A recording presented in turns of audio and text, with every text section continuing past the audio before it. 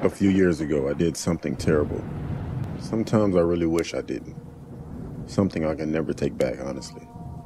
It all started when my girlfriend, well, ex girlfriend, broke up with me.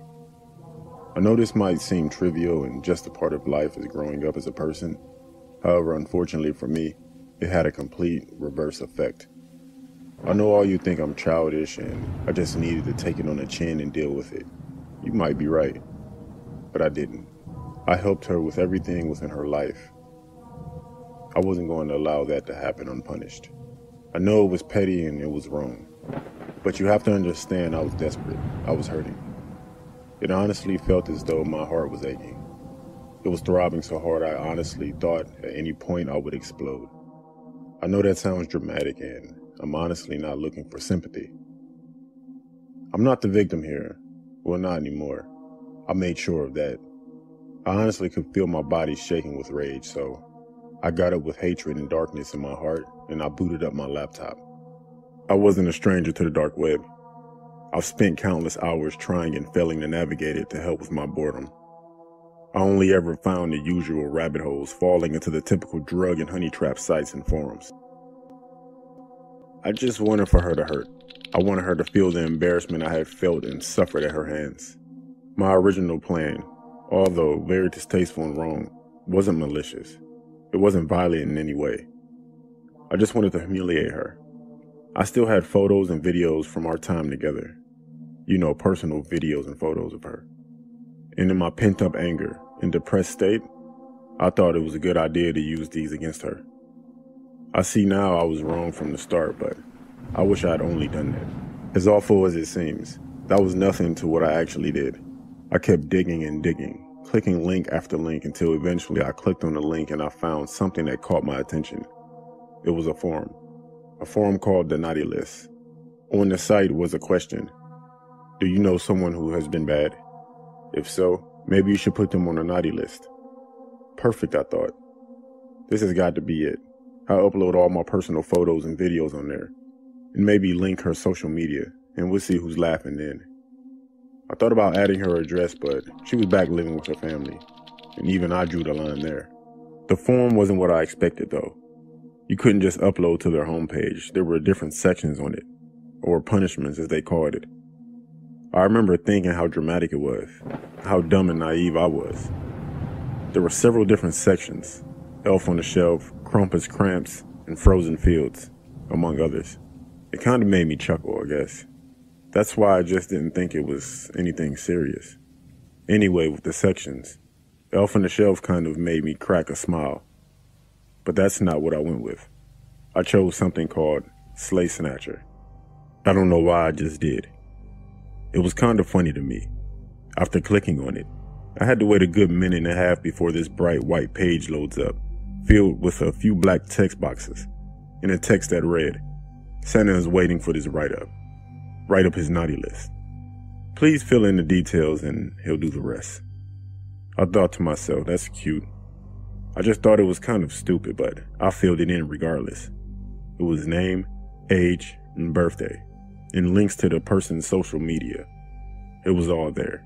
Everything I was so desperately looking for, and of course, photo uploads. Jackpot, I remember smiling to myself, halfway cackling in the process. It wouldn't allow me to upload any videos, but the photos were more than enough for me. It was hot girl summer type pictures, if you know what I mean. It also asked for the person's address, but as I previously said, I wasn't really about to go that far. But I did write in her hometown, our hometown, something I really wish I didn't do. After I had finished putting in her information without even a moment's hesitation, I clicked submit. After a few seconds, a little text box appeared asking, Are you sure? Santa won't forget. He checks that list twice. All names are final. I smugly pressed yes, and that was that. Perfect, I thought, until I was redirected to another page. It took a few minutes to upload, but when it did, it caught me off guard. It simply said, Thank you for submitting the naughty list. We really appreciate it. I had achieved my goal. I thought, job done. It's all uploaded. People will see them and message her on social media. Then she'll be humiliated. Feeling better about myself, I calmly and confidently shut down and wiped everything correctly, making sure I couldn't be traced or implicated in any way. The next morning, I woke with the biggest and most disturbing smile I've ever produced. I was so pleased with myself looking back on it now. It honestly makes me feel sick. I couldn't wait to see the fruits of my labor.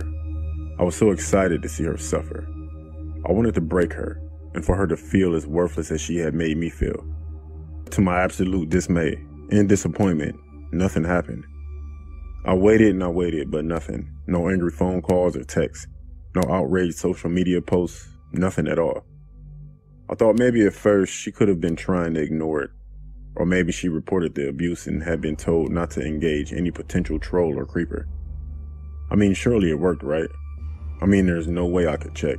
I couldn't find that link again, even if I tried. Anyone who surfed the deep web or dark web would know this is true. It's just not cataloged, it's a mess. And I only stumbled across it by chance in the first place. I wish I hadn't.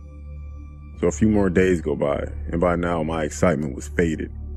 And I feel dejected and genuinely upset that it clearly hadn't worked. No one could be so calm if it had worked.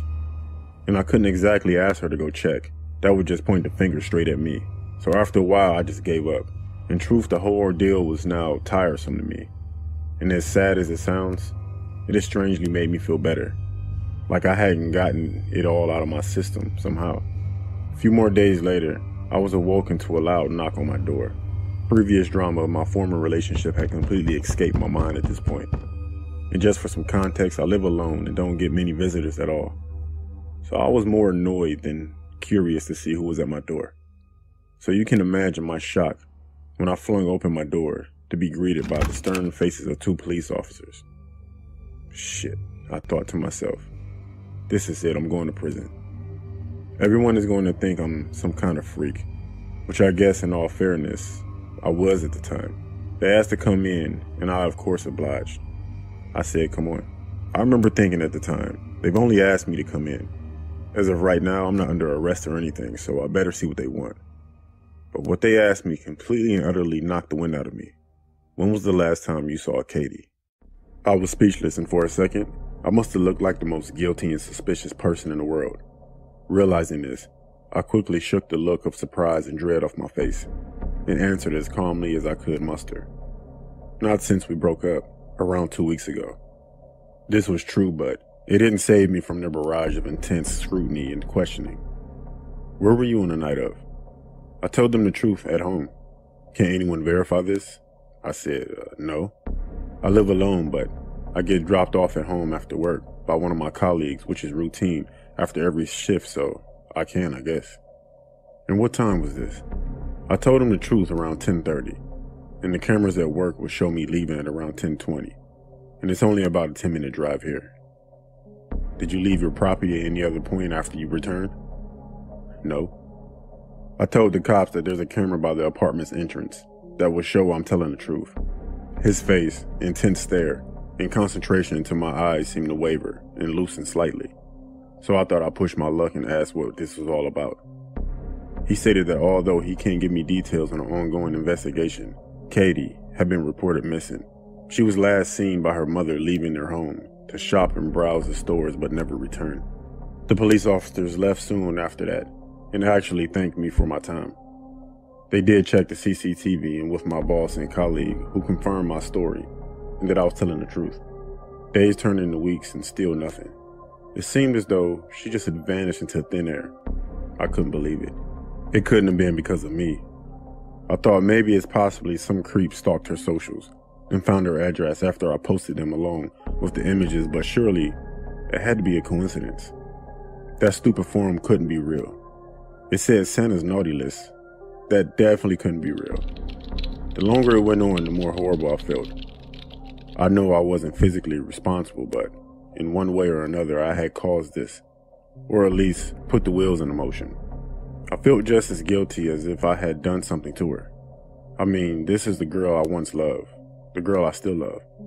And I had done this. I had caused this, and her poor mother, they had been estranged for years. I tried to get on normally with my life, but it was hard. I couldn't sleep. I couldn't eat. And you know something? I knew I deserved it. I would cringe every time I caught myself feeling sorry for myself. I took to drinking to make myself sleep. Anything to numb the pain, anything to get the image of her face and the sounds of her screams out of my head. I couldn't go to the police, but how could I?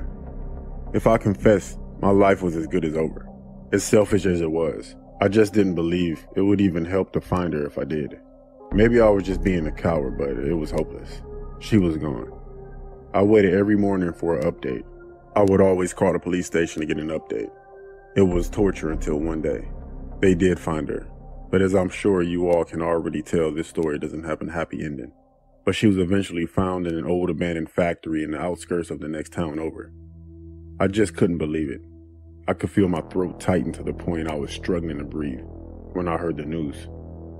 In my head, I was begging and pleading with whoever or whatever. It must be some kind of mistake, a mix up. It couldn't be because of me. But unfortunately, it was no mix up. She was found stuffed in a chimney. Her body was inside a sack, a toy sack. I couldn't believe it. I felt sick. This must be some kind of sick joke. I kept trying and failing to convince myself. I felt my body tremble. She had been there for a while, and you could tell by looking at her. They knew it was her because stuffed into her eye socket was a small piece of paper, a small piece of paper that read, Naughty List. Katie, you should have been good. I blacked out, and I collapsed where I was standing, and I hit my head pretty hard. When I regained consciousness, I hoped, I prayed it was just a bad dream. But of course it wasn't. It was real. It was all real. I'm a simp. Nothing will ever make up for the torture I subjected a girl I once loved and cherished. All because my own ego and misguided sense of pride and self-worth. I wish I could take it all back. You deserve justice, Katie. You deserve to be able to rest in peace at the very least. Maybe confessing will bring you and your family closure. Maybe ending my own life will make us even. But regardless of the answer, I'm far too much of a coward for either. I won't go on the dark web again, just because of this situation.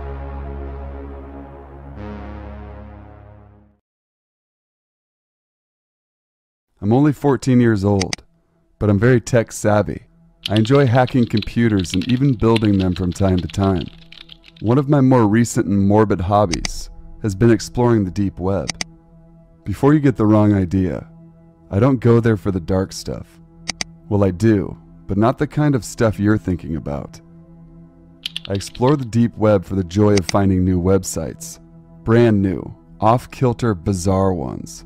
I find them and catalog them for my own personal enjoyment. It feels like I'm actively discovering new parts of an ever growing planet, or at least the dark side of one. Despite it being the deep web, most of the sites I've come across are mundane and uninspiring. For instance, a 9 11 conspiracy site, a dating site for white supremacists, and a site dedicated to assassinating the president. Boring. But then there's the more interesting ones, like a marketplace for selling various serial killers' belongings, a site for worshiping a strange cult called the Clan of the Red Wolf, and a Hitler fan fiction site, violent hypersexual fan fiction, to name a few. These are the kinds of sites that either pique my interest or make me laugh, giving them a spot in my catalog of oddities. While on my usual hunt for the unusual, I came across a site called Parent Snatcher. The layout was very simple and looked more like someone's Tumblr page rather than a deep web website, but I wanted to see what it had to offer. In reading its contents, I found little to placate my hunger for the strange and obscene. It was just a list of pronouns and numbers, coupled with links to eBay listings on the surface web selling furniture. Her, 37. eBay listing, love seat, $14,356. Him, 28.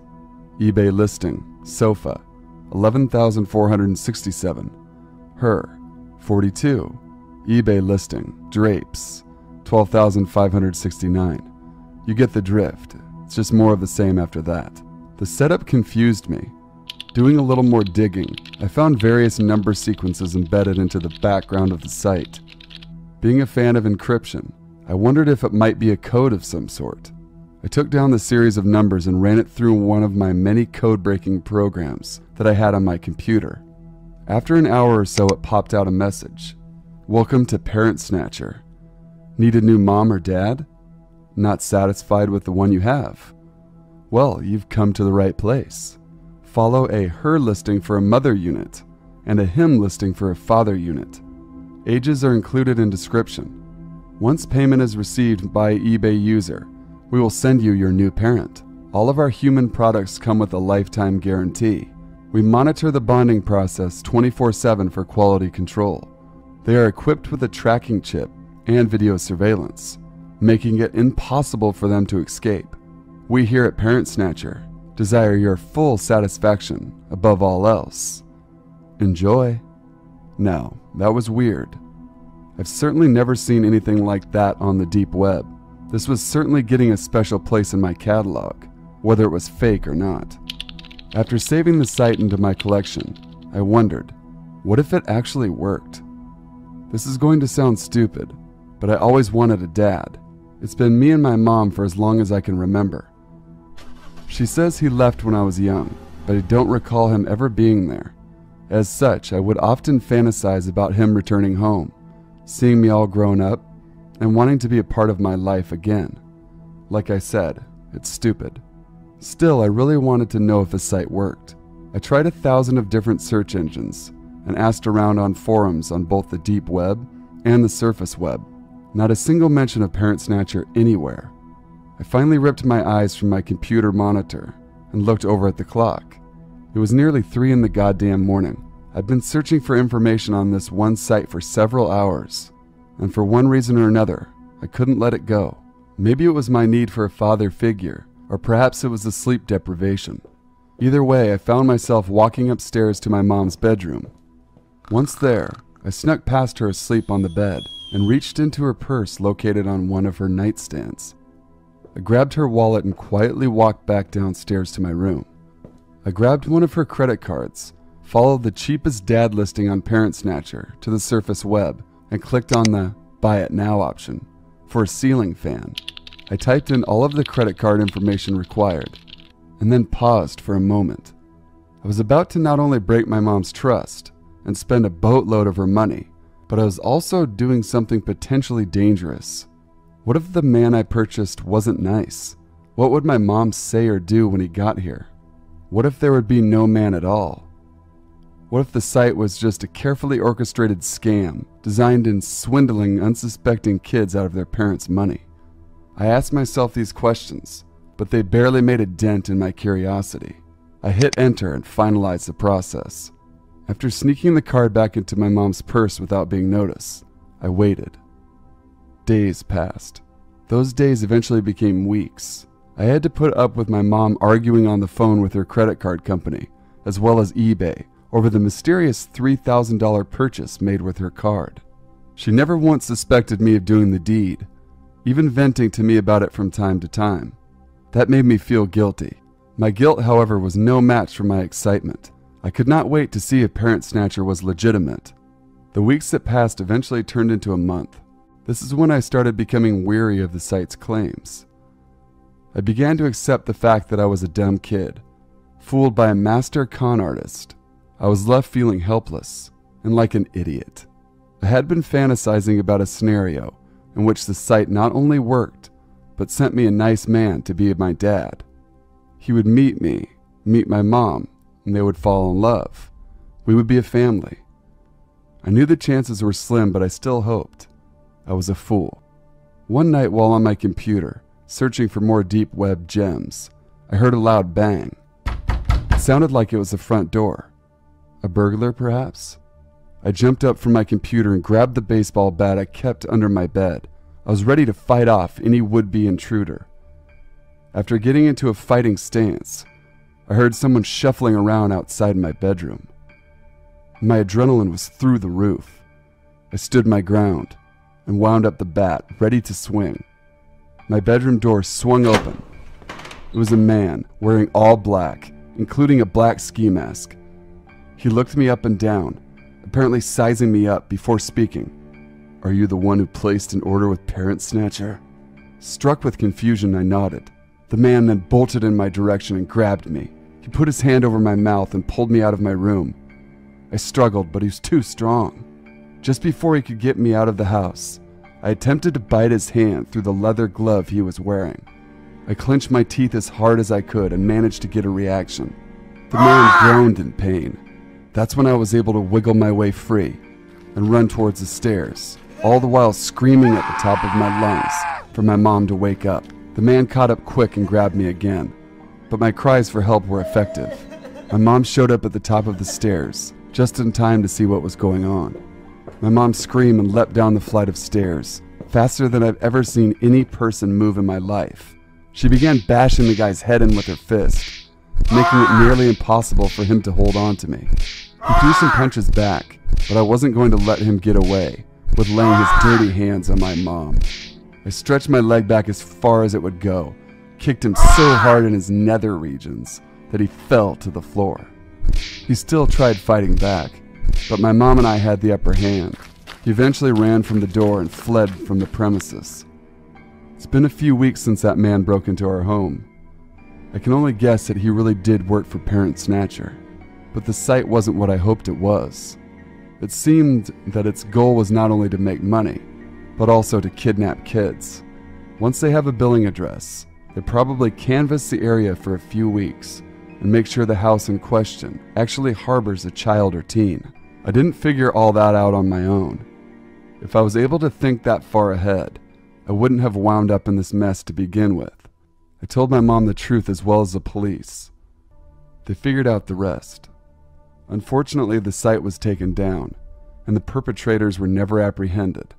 The cops are still on the lookout, though, and offered my mom and I police detail and new security system.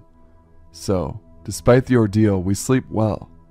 What would Parent Snatcher have done if they had actually captured me? The police wouldn't offer me insight on this, but I'm sure they told my mom. I already have a good guess any- into some kind of child trafficking ring. I'm sure you can gather what would have happened. Luckily for me, I wasn't captured, so all in all, I've learned a lot from nearly being kidnapped. And one thing is for certain I will never visit the deep web again for as long as I live. I'm a fresh graduate student with a bachelor's degree in science, nutrition to be specific. Around five months ago, I was looking for a decent job that's related to what I've studied. The pandemic certainly made the job hunting even more stressful. However, I got a job in a moderate R&D based company 2 weeks after my application for the job. I was quite fussy over the fact that the company had some pretty bad reviews on the job seeking website regarding the pay and the working environment, but I had to work to earn my living, so I thought nothing of it. I held the position of lab technician, where my routine is basically doing some inspections, laboratory tests on raw materials, in process and final products, and supporting more complex trials and experiments. So basically, I stay in the lab unless my supervisor asks me to run calibration checks or to do some maintenance like a simple repair to analytical instrumentation. This incident occurred around three weeks after I started working. I was doing my lab tests and had to wait for an hour or so to proceed to the next step of the test. So I sat in the corner of the lab and started to doze off because my bedtime schedule had been messed up ever since the lockdown. I don't know how long it had been till I heard someone come into the room. I thought it must have been some intern students who usually come into the lab to prepare for some lab tests, so I wasn't too bothered to look at who or what they were doing. A moment later, I heard the sound of someone messing with the incubator, like pushing random buttons in a quick motion, which is quite abnormal because the incubator is normally already set up readily so there's no need to adjust the temperature. I was about to tell the other person to stop messing with the buttons when the noise stopped and it was quiet again. I was sitting down with my knees to my chest, resting against the table that's placed in the middle of the lab, parting the laminar flow cabinets. So, if I had to see who it was, I need to stand up and face the other side. But I was sleepy, so I decided to just brush it off. When the person was about to leave the room, I glanced over and saw something that is not of a human's legs. It looked like a fishtail standing upright, like in the animated cartoon movie Shark Tale. It was moist and had the color of dirty, muddy green. I just sat there shocked, contemplating if whatever I saw was real or just a hallucination due to my lack of sleep. Anyhow, I just stopped fretting over it and resumed my work. About a month after, I was early to work on this particular day, and my supervisor had asked me to check on the raw materials as soon as possible to avoid any miss out. So I went to the room where the raw materials are stored, which is located down at the manufacturing plant. When I reached the working area, there were only a few workers, and the atmosphere felt a little eerie. Nevertheless, I went straight to the storeroom, did my work, and was about to leave when I heard alarms going off in the nearby storeroom where the dry goods are kept. I rushed to the place and there were people surrounding the room. I took a glimpse of the inside, and it seemed that the dry goods were contaminated or rather eaten by a pest. It was weird seeing the size of the goods that were eaten. It was as though some large animal took bites of the dry goods, and the rotten goods had musty green thick liquid all over them. I was a little shocked too, but I had to do my job, so again, I thought nothing of it. Nothing really happened after that until two weeks ago when I saw those fishtails again. I was working on calibration and doing decontamination of a machine when someone walked past behind me and slightly bumped me on the back. I turned around to kind of glare at the person, but to no avail because there was no one at the area where I was working. I was getting a little superstitious, but continued my work anyway, and in the corner of my eye, I could see something was going up and down as though playing hide and seek. I stood up from my position and got to the back of the room to check and saw those tails again at the table near the back door. But this time the tails weren't standing upright, but rather were laid on the floor and lashing side to side. This time I was certain I wasn't hallucinating and went to have a closer look. When I got close enough, the thing glided quickly to a nearby room. I ran after it, and when I looked into the room, there was nothing weird to be found. I didn't report the incident to anyone because I didn't want anyone thinking I was silly or making up stuff. I'm still working there, and hopefully I don't encounter that thing again.